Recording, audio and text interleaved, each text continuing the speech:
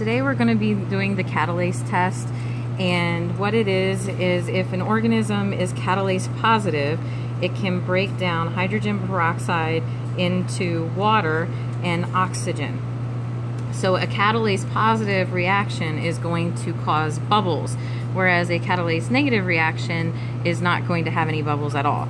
So what I did was I labeled the organisms out of the first grouping of organisms we use in class, uh, which are positive, and those that are negative in regard to gram-positive cocci.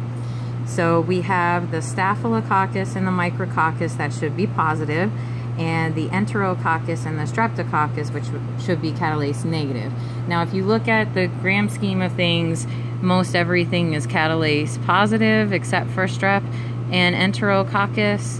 Um, but in the first grouping, uh, we have the gram-positive cocci, gram-negative cocci, and gram-negative coccobacilli. So that would be Staphylococcus, Micrococcus, Enterococcus, and Streptococcus are all gram-positive cocci.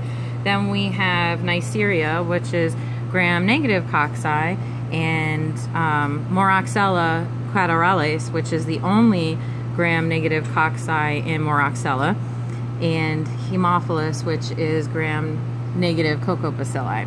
So I put an organism on each that should be positive, one that should be positive on here. So I put Staphylococcus aureus on here, and I put Streptococcus agalactiae on this one. So I'm going to add my hydrogen peroxide and look for bubbles. Okay, so as expected, the Streptococcus does not show any bubbles.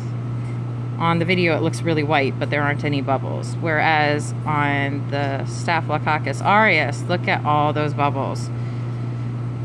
Okay, so this is a positive test here for staph, and this is a negative test here for strep.